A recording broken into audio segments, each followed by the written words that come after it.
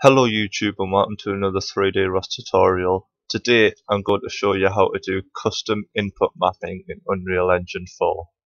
This is useful if you want to have a key update dynamically for a certain action, let's say to fire a gun. You want to be able to update that, say if you want to change it. As soon as you change it in one area, it'll dynamically update in every blueprint you've got.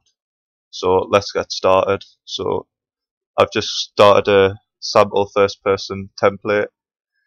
So just go up to edit, project settings. Then you want to go down to input under the engine tab. And then under action mapping, just hit the plus here. I'm just going to call this hello. And I'm going to set it to the E key. So I'm just going to type in E on here and search for the key. There it is. So now I just close that. And now for open my level blueprints, so just go to blueprints, open level blueprint. So if I right click and now type in hello, which is what we're called the key, we'll see action events hello. So when the key that was set as hello in the project settings, when that's pressed, I'm just going to print a string for the purpose of the tutorial. This will just print hello in the top left corner of our screen. So when I compile that and save, when I play the game now and I press E, you'll see it says hello in the top left corner. Keep pressing it and we'll get loads of hellos. So now if we just go back to our project settings, go back to input and we decide to change our hello key to F.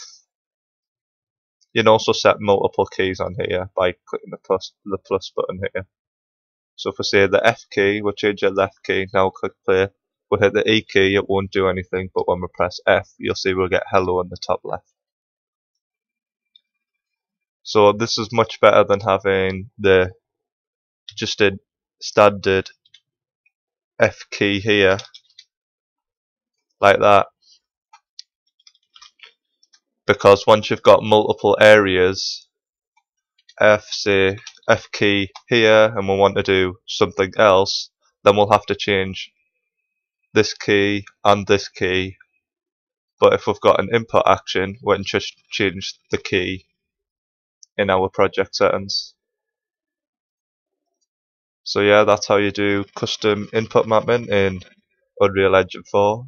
I hope you found this tutorial helpful. If you did, give it a like and subscribe to 3D Ross on YouTube.